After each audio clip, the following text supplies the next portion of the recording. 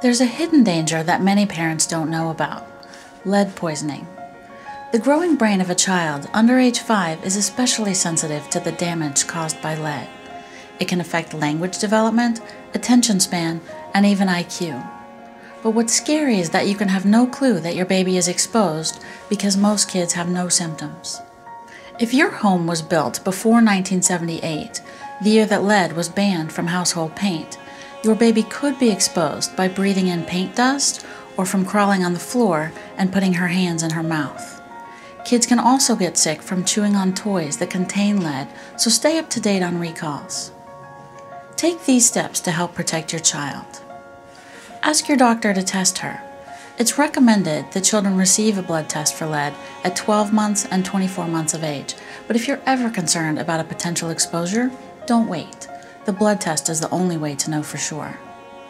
Test your home. Find a professional inspector at epa.gov/lead. You can also have your drinking water tested. Keep dust down. If you live in a pre 1978 home, cover peeling paint and wet mop regularly. If you renovate, use a lead safe certified contractor. Also, leave shoes at the door and wash your and your children's hands regularly.